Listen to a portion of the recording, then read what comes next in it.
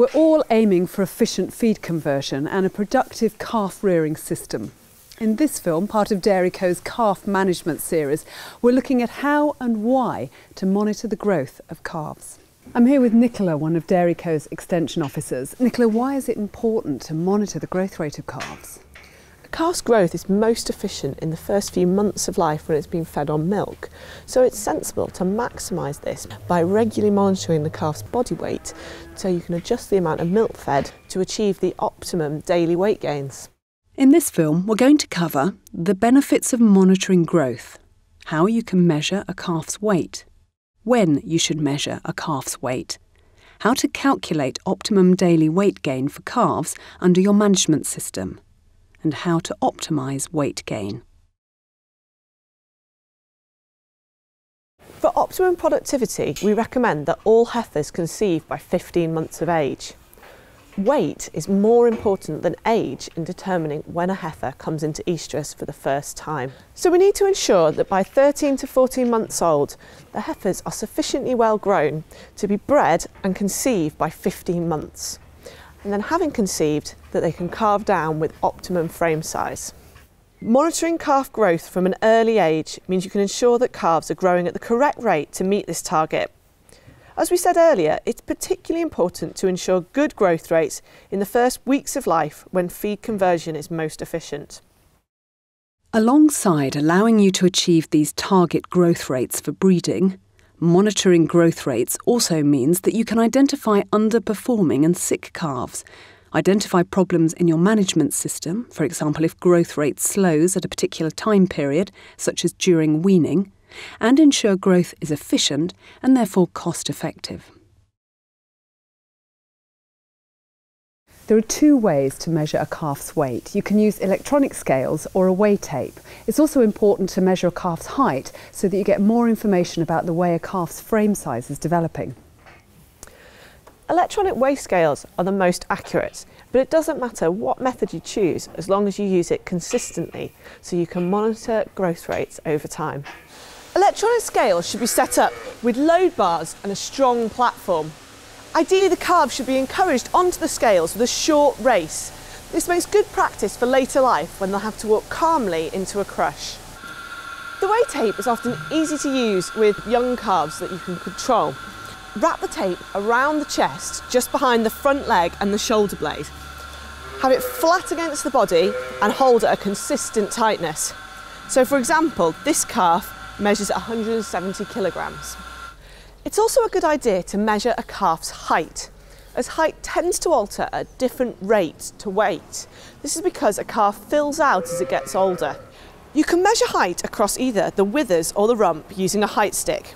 You need to have the calf standing on a flat surface.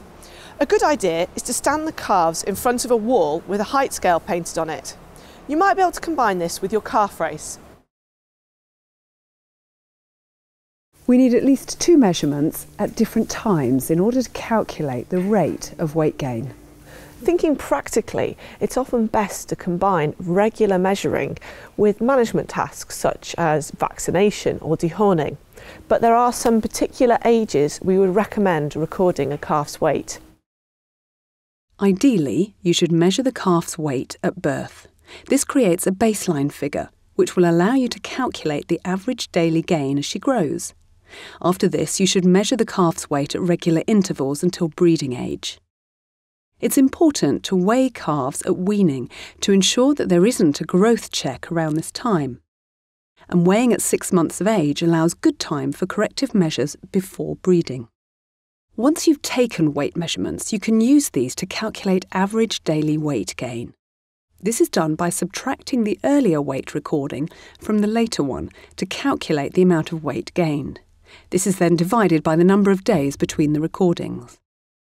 So, if a calf weighs 54 kilograms today and 30 days ago weighed 38 kilograms, we can substitute this into our equation, and this works out at an average daily weight gain of 0.53 kilograms per day.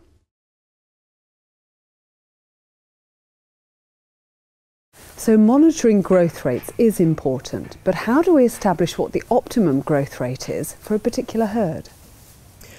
Target growth rates will depend on the breed of animal in your herd. So the first thing to do is work out the average mature body weight of your cows.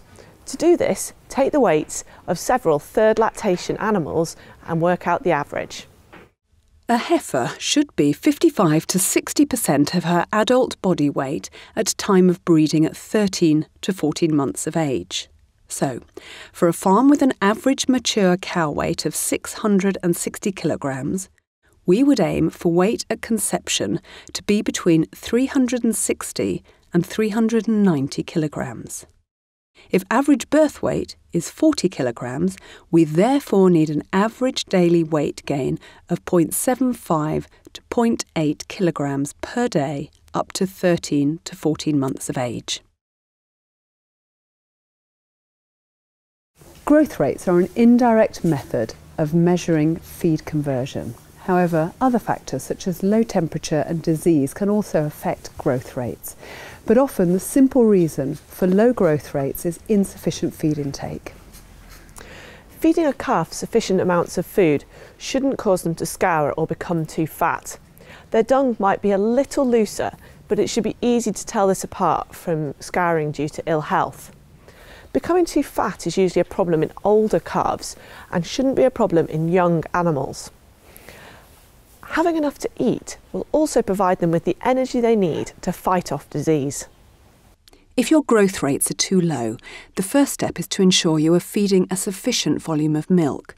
You may then wish to consult your nutritionist or vet, who may advise you to increase the concentration of milk solids or change to a product with a higher protein content. It's also important to ensure that all calves are taking in sufficient concentrate and roughage before weaning.